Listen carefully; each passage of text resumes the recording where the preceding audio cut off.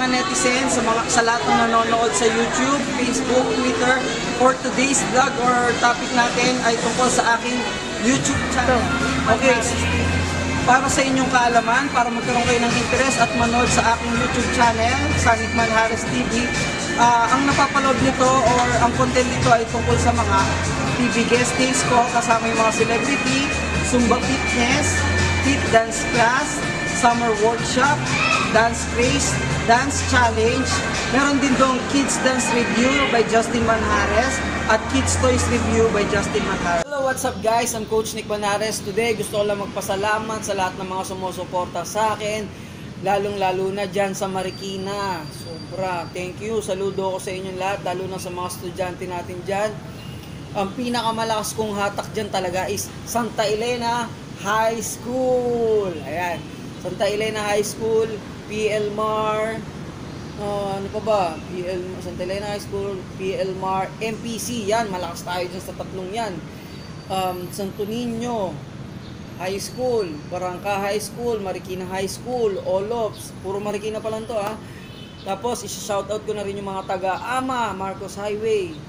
Tapos, eto, pinaka-the best ko rin to na pinagbablagan sa Our Lady of Fatima Antipolo. Ayan. So, guys, mamaya kita-kits tayo dyan.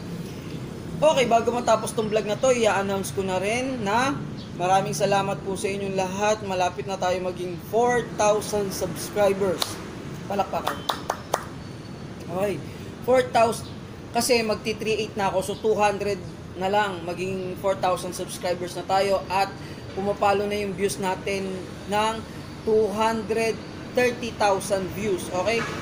Ito yung ano ah. Para wala ng butal. Kasi kung sasabihin ko naman sa inyo na 276,000, 200, magiging butal-butal to. So, dediretsuhin ko na kayo. Papunta na yung channel natin sa 4,000 subscribers at 200 ah, mali 300,000 views mali, ulitin ko ulit ha guys, para mas mas clear lang sa inyo ang YouTube channel natin ay papalo na sa 4,000 subscribers at 300,000 views. Konti na lang yan. Konti na lang. Magiging million views na lang. 700,000 na lang eh. Tama ba? Okay. So guys, maraming maraming salamat sa inyo. Sana mas marami pang mag manood sa inyo ng vlog ko. Sana maraming mag-subscribe. Sana mas maraming mag-share para at least yun nga mas mapadali din yung yung sweldo ko sa YouTube dahil guys, i-update ko na rin kayo nasa $15 na ako. Hihintay ko na yung Google AdSense pin ko at pag na-reach ko yung $100 monthly may sweldo na si Nick Manhares, okay? Pero hindi pa naman siya ganun kalaki. Lagi tayo magsisimula sa baba. Yan. So, yun. Um, magpo-produce na ako ngayon ng mga maliliit na short film. Mga motivational, okay, nakakatawang film, tong vlog. So, guys, sana suportahan nyo naman yung channel ko. Yung may mga talent dyan, yung mga, yung mga nangangarap dyan mag-artista na hindi naman nabigyan ng pagkakataon. Lalo na yung mga teenager. Kasi mas, mas active talaga yung mga teenager dahil hindi pa sila nagtatrabaho eh. Aral lang sila. Tapos after nun, wala na silang gagawin.